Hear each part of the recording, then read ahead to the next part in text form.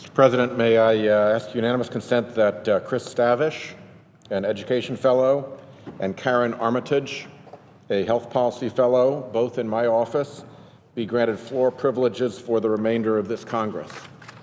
Without objection. Mr. President, may I uh, ask unanimous consent to speak for up to 15 minutes, as if in morning, in morning business? Without objection.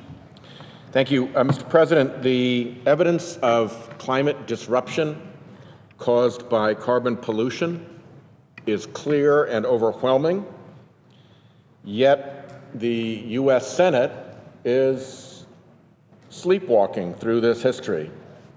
I'm here today for the 97th time to say that we must wake up. Climate disruptions are felt in every corner of the globe, from the ocean floor to the reaches of the atmosphere, and from pole to pole. Indeed, the United States is an Arctic nation.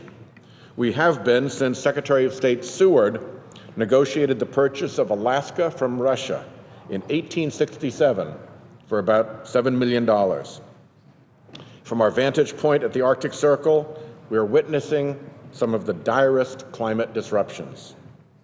The Arctic region has been warming now for decades, twice as fast as the rest of the planet. Alaska's warmest year on record was 2014, going back to at least 1918. And here I'm talking about measurements. It's not a theory. This year's Alaskan winter was so mild that the start of the famous Iditarod race had to be moved from Anchorage to Fairbanks, more than 300 miles to the north, so that the mushers could find snow and hard frozen rivers to sled on. The Arctic Biodiversity Assessment, a project drawing on more than 250 scientists from 15 countries, details the risk to the iconic wildlife and landscapes of the Arctic. The report's chief scientist said, I'll quote him, polar bears and other highly adapted organisms cannot move further north, so they may go extinct. We risk losing several species forever. The report is clear. Climate change is the most serious threat to Arctic biodiversity and to its fisheries and tourism. Arctic warming has wreaked havoc on the ice cover of the Arctic terrain and oceans. Look at the Greenland ice sheet. In 2012, the National Snow and Ice Data Center recorded melting over a larger area than ever in more than 30 years of satellite observations. Here's a map of the average annual days of melting across the Greenland ice sheet from 1979 to 2007. That's the average. Here is 2012. Some areas, like along here the southwestern coast, saw more than 120 days of melting in 2012.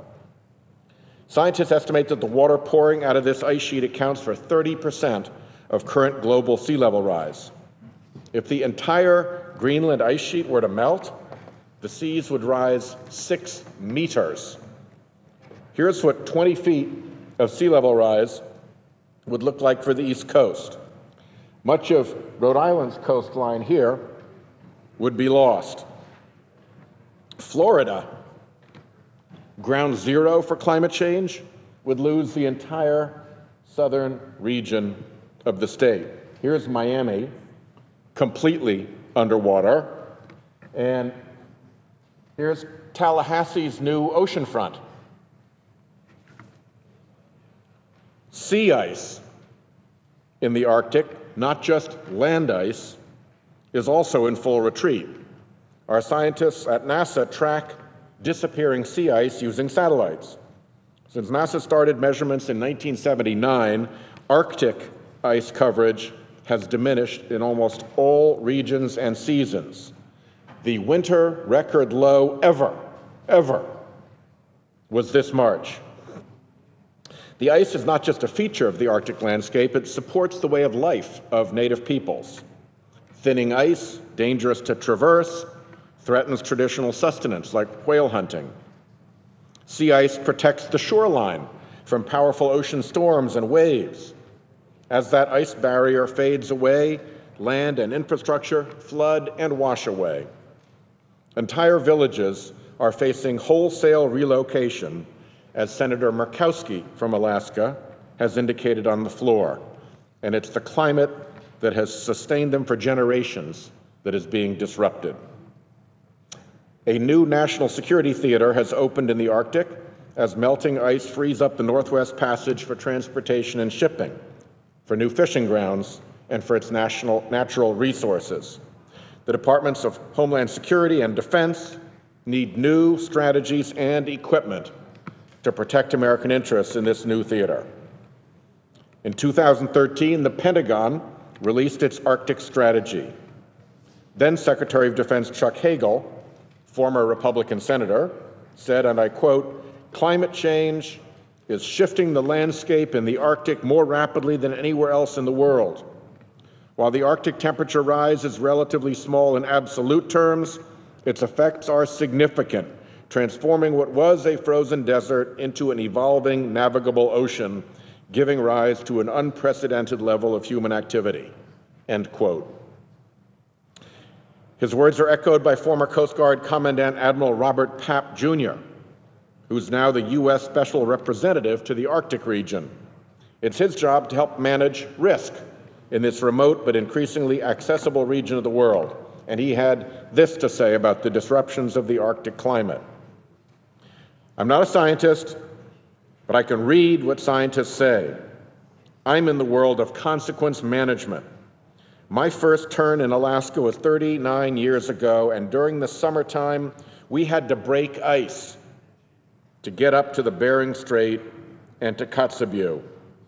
35 years later, going up there as commandant, we flew into Kotzebue at the same time of year, and I could not see ice anywhere. So it is clear to me there are changes happening, but I have to deal with the consequences of that. Last weekend, Secretary Kerry headed to the Canadian city of Iqaluit to assume the chair of the Arctic Council on behalf of the United States. The Arctic Council is the international forum for Arctic nations to work together to ensure a secure and sustainable Arctic future. Secretary Kerry made it clear that climate disruption would be a focus for America's chairmanship, saying plainly, and I quote, the ability of future generations to be, to be able to adapt and live and prosper in the Arctic the way people have for thousands of years is tragically, but actually, in jeopardy. So if we want to know where the problem begins, all we have to do is look in the mirror. End quote. Secretary Kerry sees this problem for what it is and knows we need to lead in addressing climate change. Congress, too, should seize the opportunity to do big things, to understand the changes that are occurring, and to protect against these climate disruptions. Our executive, homeland, and national security leaders must deal in real world consequences. So should we. They don't have the privilege of shrugging off serious, mature risk analysis. Neither should we. But the big polluters and their front organizations ignore the consequences of carbon pollution, cherry pick the evidence, and traffic in denial, doubt, and delay. Deniers are quick to point out that Antarctic sea ice is increasing while Arctic sea ice is melting. But the fact is that overall, the globe is losing sea ice at a rapid pace. Since satellite measurements began, the planet has been losing sea ice at an average rate of 13,500 square miles per year. The deniers usually also leave out the melting of the great ice sheets of Antarctica. Remember, sea ice floats on the sea, and its melting doesn't much raise the sea level. Ice sheets rest on land, and their melting adds to the seas. Scientists now warn that the melting of some of these massive Antarctic ice sheets may have, quote, passed the point of no return, end quote. Mr. President, Rhode Island has already experienced nearly 10 inches of sea level rise. The implications of Antarctic ice sheet melting are measured in feet, not inches. Many thought the Alaska purchase was a mistake. Some called it Seward's folly. But Secretary Seward had vision when he secured Alaska for the United States, and now it is a treasured part of this great nation. We in Congress and the Senate should try to see through the haze of polluter influence and muster some vision ourselves on what scientists and world leaders alike call the greatest challenge of our time. The U.S. should be leading, not stalled by special interest politics. Secretary Kerry knows we should lead.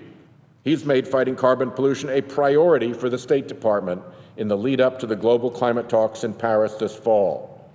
More than 100 Democratic members of Congress sent a letter last month to the President supporting U.S. leadership in these talks.